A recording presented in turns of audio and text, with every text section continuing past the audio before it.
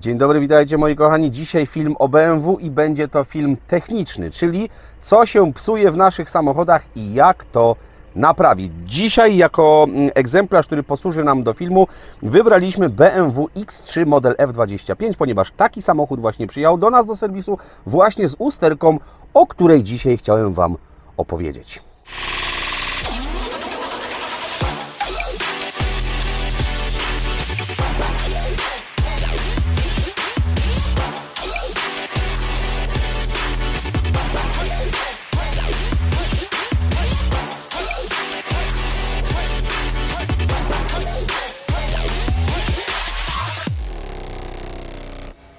BMW X3 model F25 to bardzo ciekawy samochód. Już kształtem przypomina nam pierwszą X5, ponieważ pierwsza X5 stoi dokładnie tam za nami, a X3 zrobiła się już tak duża, że można by się pomylić, że właśnie jest to samochód serii X5. Ale dzisiaj nie będziemy omawiać tego modelu, tylko dzisiaj zajmiemy się usterkami, które występują praktycznie w każdym samochodzie, w każdym modelu BMW z silnikami diesla. Nieważne, czy to będzie silnik dwulitrowy, czterocylindrowy, czy to będzie silnik sześciocylindrowy. Usterka dotyczy czujnika ciśnienia i temperatury paliwa, który znajduje się właśnie na przewodzie paliwowym, który wychodzi od głównego przewodu paliwowego od zbiornika paliwa, zasilający przewód do pompy Common Rail. Akurat na przykładzie tego samochodu, tego egzemplarza mamy silnik B47, jak zawsze wspominam, silniki serii B już to są silniki poprawione, aczkolwiek mają też swoje jakieś e, wady i bolączki i trzeba te samochody po prostu naprawiać. A akurat tą usterką, o której my tutaj dzisiaj rozmawiamy, doradzamy kontrolować przy każdej wymianie oleju, a olej pamiętamy wymieniamy nie co 30 tysięcy, tylko co 10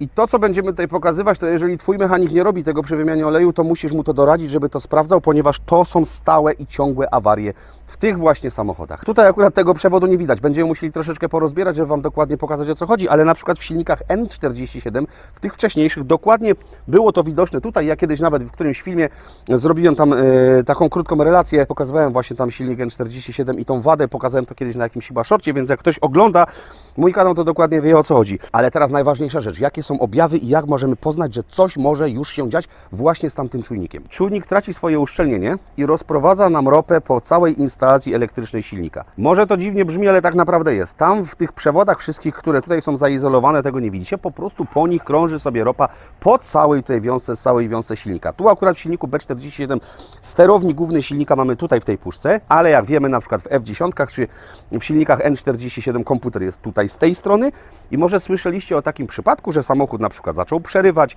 tracił moc, zapala się czek silnika, nie wiadomo dlaczego.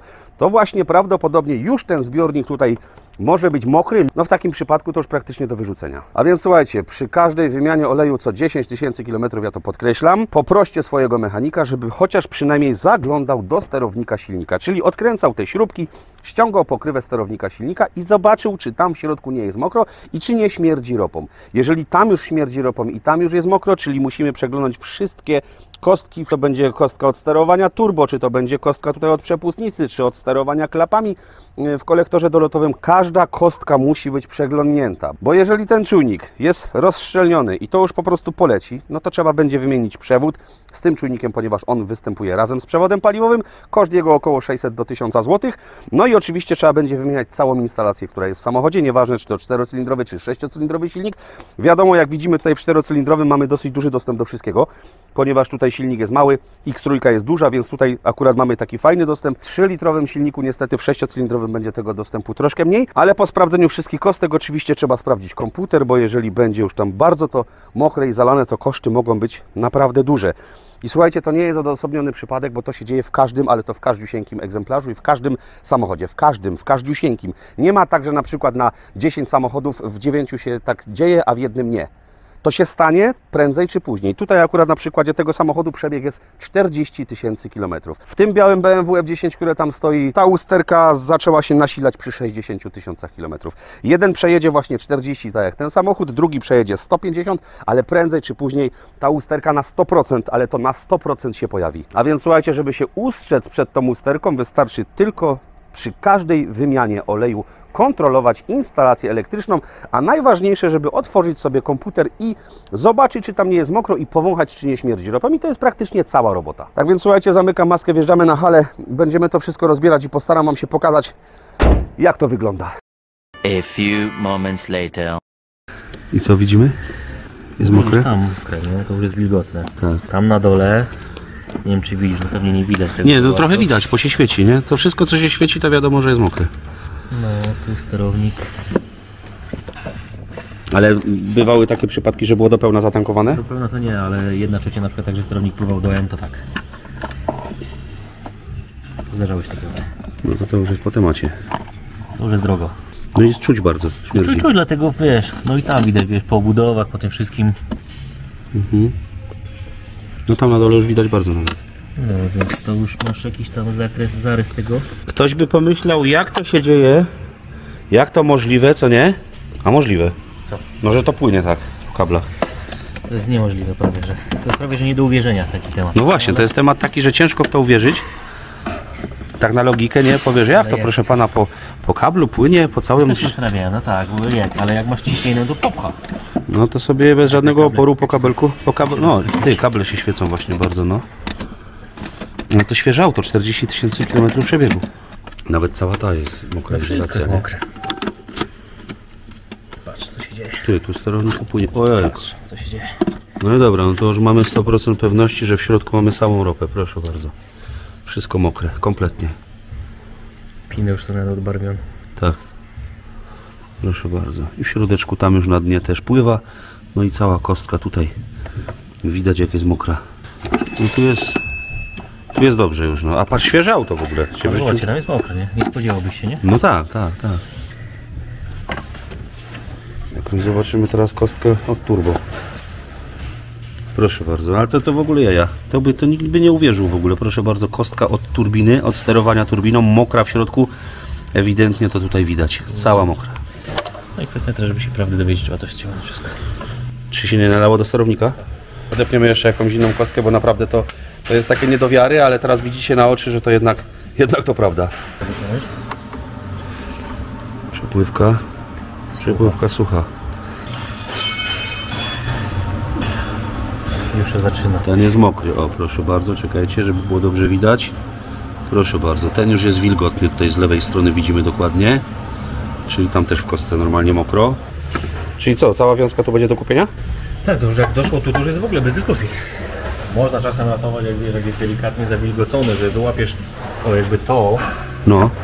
e, znaczy tamta kostka była w takim stanie jak ta, no to teoretycznie można było tu uciąć i wstawić gdzieś kawałek, nie? Ale już masz tu, tu jest wszędzie, to już nie do ratowania zaska. Czyli jak widzicie, tu akurat w tym samochodzie, jeszcze raz powtarzam, 40 tysięcy kilometrów przebiegu. Samochód naprawdę jest świeży, nieużywany. No używany, 40 tysięcy kilometrów bardzo często można zrobić, nie wiem, w rok. Ludzie czasami robią nawet i w miesiąc. A tutaj widzicie, co się dzieje? Idę zaraz zobaczyć, ile kosztuje wiązka i za chwileczkę powiem Wam dokładnie, ile to jest. Adam, sprawdzisz, ile kosztuje wiązka? A czy już masz w pamięci? Jest związka, jest mokre wszystko. Do tego konkretnego modelu to jest 2314 To już jest... zł. Ile? 2304. 2314 zł, przewód 7. Ja myślałem, że ty mówisz mi, że to jest 2000 któryś rok auta, a ty już mówisz cenę. Dobra, 2000 coś plus przewód paliwowy z tym czujnikiem 780. 780, czyli same części na tą chwilę już są 3000. 3000. Sterownik 10 tysięcy i jest niedostępny. A sterownik tam jest mokry. No i go trzeba teraz sprawdzić, wyczyścić, ewentualnie coś zobaczyć, co się uda. A jak nie, to trzeba kupić nowy sterownik, znaczy nowy, używany, który nie będzie zalany i klonować lub dać jeszcze do firmy, która będzie czyścić ten sterownik i go prześwietlać na cnie lub dogrzewać. Po prostu. Więc zabawa się może skończyć na kwocie ponad 10 tysięcy. 10 tysięcy za naprawę samochodu, słuchajcie. No i to jest, to nie jest odosobniony przypadek, ponieważ jest to w każdym, w każdym, w każdym silniku diesla. Od 2000 przyjmijmy 10 roku, odkąd, chociaż nie, wcześniej, Bliżej, no. wcześniej też. no tak, jak odkąd wyszło N47.